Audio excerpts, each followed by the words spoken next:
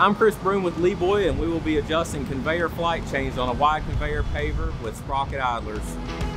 We're performing this today on an 8520B, but we have designed all of our 8500 series to have a similar adjustment procedure. Remove the four wing bolts on each side.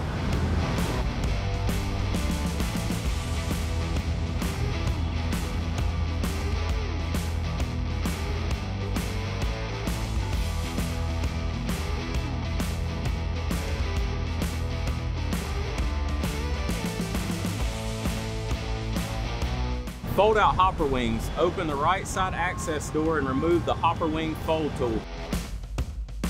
Use this tool in the square tube near the front of the hinges to fold out the left and right side wings.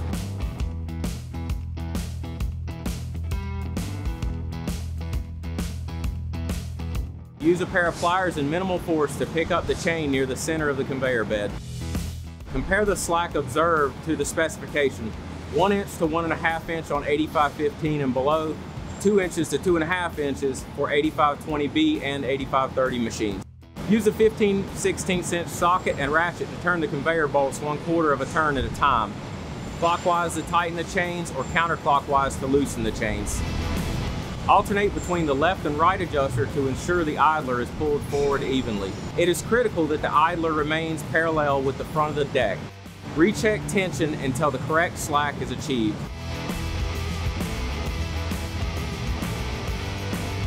Start the engine and run the conveyor to check that the chains are not binding, making noise, or trying to climb the front sprockets.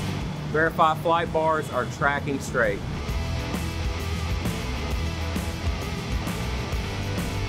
Raise the conveyor deck Install the safety prop before tightening the two idler mount bolts. You will need to loosen these before your next flight chain adjustment.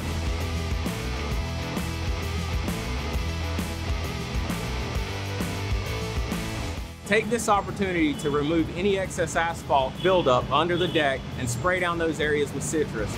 We also recommend spraying citrus up into the conveyor pans to prevent material buildup inside the deck.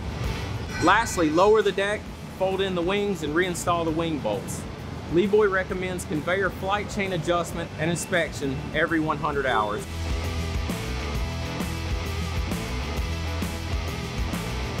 LeeBoy recommends crews perform an end of shift cleanup routine of first removing all excess material.